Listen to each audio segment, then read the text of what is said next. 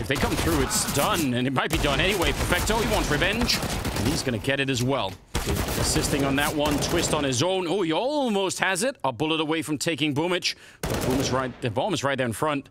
If he had a nade, that would be the end. He sees him cross, so he's got the information, but yeah. Next bullet to connect is going to make the difference. Boomich has the right idea. Twistzz going to go for the jump. Oh! That is some excellent parkour, and he's going to take him down. Triple kill. The magnificent.